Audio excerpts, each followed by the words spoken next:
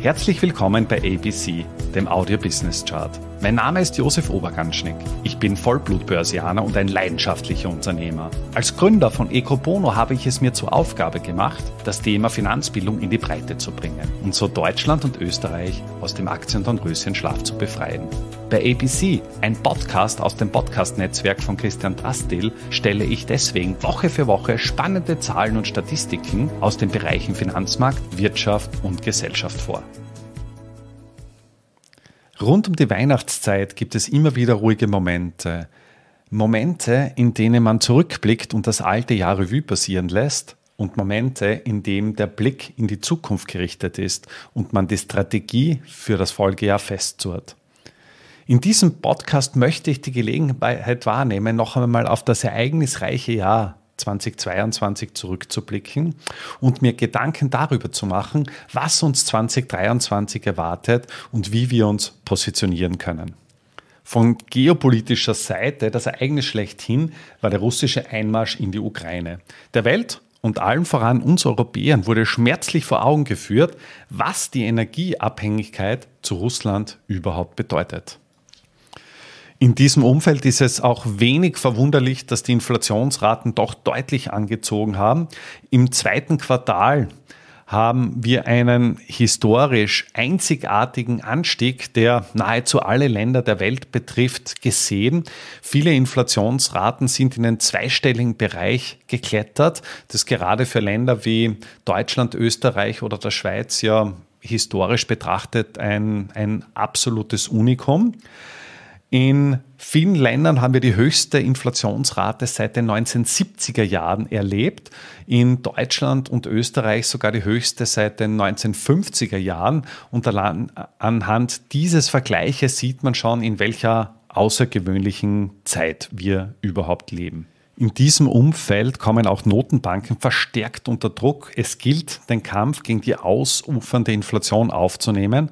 Eine der zentralen Aufgaben einer Notenbank ist es ja, den Geldwert zu erhalten. Begonnen hat der amerikanische Notenbankpräsident Jerome Powell. Der Fed-Präsident hat bereits im März begonnen, erstmals die Leitzinsen anzuheben und in lediglich neun Monaten hat Powell den Leitzins um 4,25 Prozent angehoben. Das ist sowohl vom Ausmaß als auch von der Geschwindigkeit her historisch einzigartig und sichert damit dem lieben Jerome einen Platz in die Geschichtsbücher. Aber auch die Europäische Zentralbank hat sich 2022 nicht lumpen lassen. EZB-Präsidentin Christine Lagarde hat im Juli damit begonnen, an der Leitzinsschraube zu drehen. In vier Zinsschritten hat sie den europäischen Leitzins um 2,5 Prozent angehoben. Das ist ein, ein Trendwechsel. Seit 2016 lag der Leitzins der Europäischen Zentralbank bei 0 Prozent und damit hat man durchaus auch die Wirtschaft und die Finanzmärkte mit ausreichend Liquidität versorgt. Es handelt sich aber dabei um kein Phänomen, was nur die Europäische Zentralbank oder auch die amerikanische Fed betrifft, sondern ist eine global koordinierte Maßnahme der Notenbanken. Das Inflationsthema haben ja viele auf ihrer Agenda. Und in diesem Zusammenhang haben auch die größten Notenbanken der Welt die Bilanzsumme innerhalb der letzten sieben Monate um unglaubliche 3,1 Billionen Dollar reduziert und damit auch den Märkten Liquidität entzogen. Kommen wir nun von der Notenbankpolitik zur Weltwirtschaft. Heuer werden wir erstmals die 100 Billionen Dollar Schallmauer durchschreiten. Es muss aber auch festgehalten werden, dass sich die Dynamik im zweiten Halbjahr doch deutlich verlangsamt hat Große Organisationen wie beispielsweise der Internationale Währungsfonds, die Europäische Zentralbank oder auch die OECD haben ihre Wachstumsprognosen für die Folgejahre kontinuierlich zurückgenommen. Und hier sieht man auch die Problematik, vor der die Notenbanken stehen. Das heißt, um wachstumsfördernde Impulse für die Wirtschaft zu setzen, müssten sie die Leitzinsen senken und nicht erhöhen. Niedrigere Zinsen ist auch definitiv etwas, was alle Schuldner dieser Welt begrüßen würden.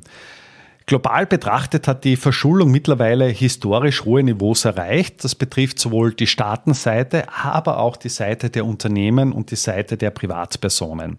Höhere Zinsen treffen all jene, die keine Fixzinsbindung haben oder sich eben neu finanzieren wollen. Das heißt, jeder Häuselbauer oder auch jeder Staat, der seine, seine Schulden langfristig an einen Fixzins gebunden hat, sind da momentan einmal außen vor, bis halt die nächste Refinanzierung ansteht. Unter Druck gekommen ist auch der Immobilienmarkt. Auf der einen Seite weil es eben deutlich teurer ist, das Eigenheim zu finanzieren. Auf der anderen Seite ist es aber auch so, dass wir gerade hier in Österreich eine deutliche Verschärfung der Kreditvergaberichtlinien gesehen haben und dementsprechend es für viele Kreditnehmer oder potenzielle Häuselbauer viel schwieriger geworden ist, einen Kredit zu bekommen, um sich den Traum vom Eigenheim verwirklichen zu können. Kommen wir nun von den Immobilien zu den Finanzmärkten dieser Welt. Auch für Investoren war 2022 ein absolut außergewöhnliches Jahr. Insofern außergewöhnlich, weil nahezu alle Assetklassen im zweistelligen negativen Bereich performten. Für Aktieninvestoren ist das Business as usual. Ein klassischer Bärenmarkt beginnt schließlich erst bei minus 25 Prozent und insofern können Aktionäre durchaus mit einem derartigen Rückgang umgehen. Wenn man sich die Zahlen allerdings betrachtet, merkt man eigentlich, wie viel Geld da verloren gegangen ist.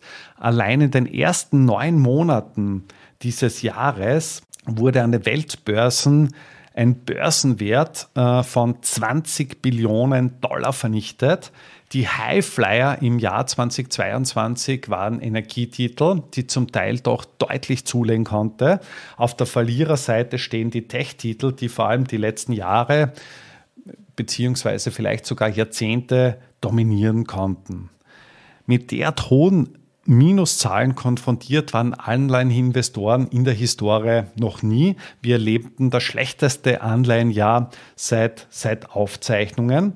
Und wenigen von uns war es überhaupt bewusst, dass man selbst mit sehr sicheren Anleihen ein so großes Minus erzielen konnte. Wir reden hier auch von zweistelligen Minuszahlen mit de facto einer sicheren Anleihe. Und das ist schon etwas, was auch ähm, außergewöhnlich ist, beziehungsweise viele Portfolios dieser Welt getroffen hat.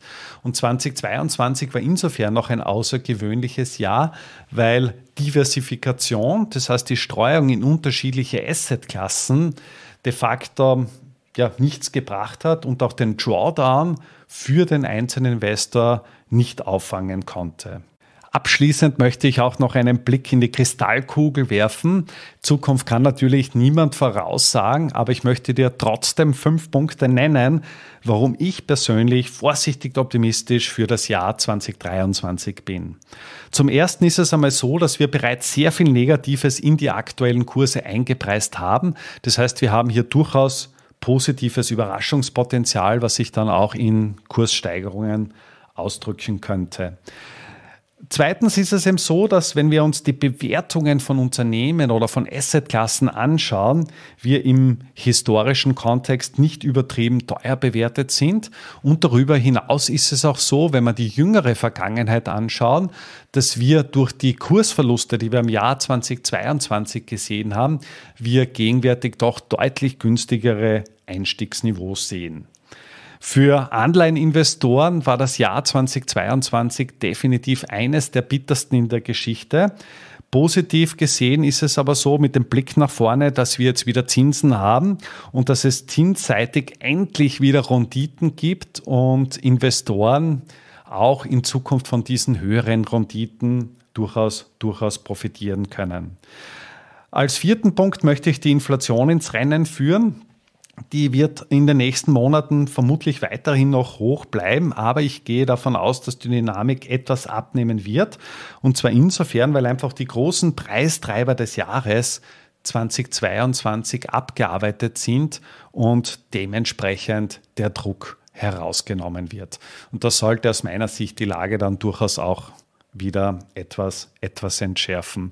Und last but not least, wir haben das dritte Jahr der Präsidentschaft Biden eingeläutet und im historischen Kontext war es immer so, dass das dritte Jahr einer Präsidentschaft mit Abstand das erfolgreichste Börsenjahr war. Das heißt, da kann man in der Historie knapp 100 Jahre zurückgehen. Das dritte Jahr war für Investoren immer ein Jahr zum Sektknallen. Ich wünsche dir ein paar entspannte Tage rund um den Jahreswechsel. Alles, alles nur erdenklich Gute für 2023 und ein glückliches Händchen bei deinen Investments.